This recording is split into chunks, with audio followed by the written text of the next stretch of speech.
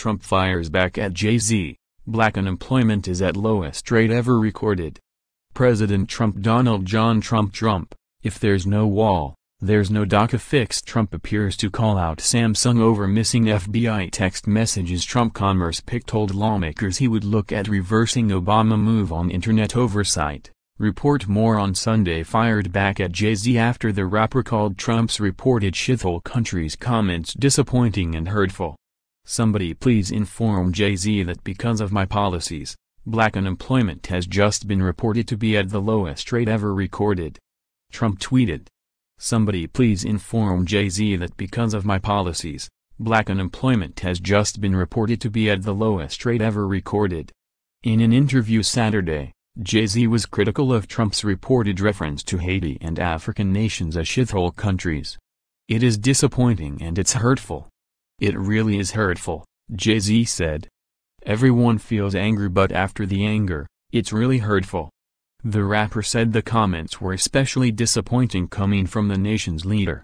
Because it's looking down at a whole population of people and it's so misinformed because these places have beautiful people and beautiful everything. This is the leader of the free world speaking like this, he added. Trump faced widespread backlash and accusations of racism for the reported comments. Trump has pushed back against reports and denied he is a racist.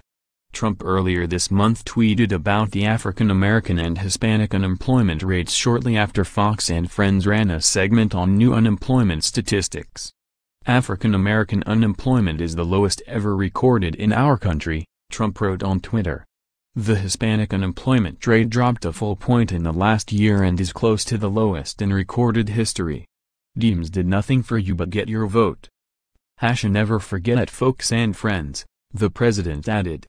His tweet followed an Associated Press report that included new numbers showing that the African American unemployment rate reached a record low in December, at 6.8%.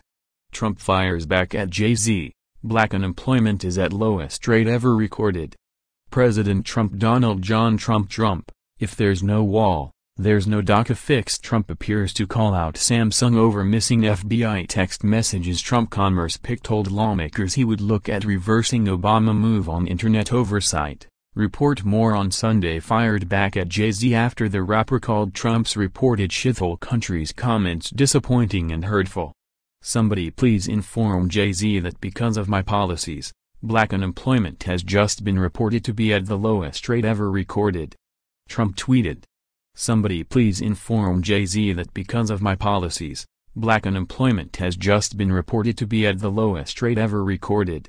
In an interview Saturday, Jay-Z was critical of Trump's reported reference to Haiti and African nations as shithole countries. It is disappointing and it's hurtful. It really is hurtful, Jay-Z said.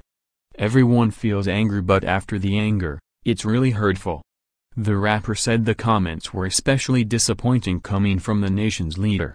Because it's looking down at a whole population of people and it's so misinformed because these places have beautiful people and beautiful everything. This is the leader of the free world speaking like this, he added.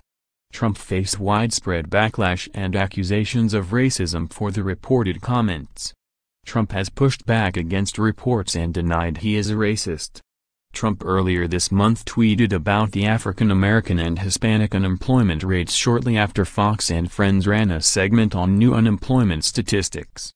African American unemployment is the lowest ever recorded in our country, Trump wrote on Twitter. The Hispanic unemployment rate dropped a full point in the last year and is close to the lowest in recorded history. Deems did nothing for you but get your vote. Hasha never forget it folks and friends, the president added.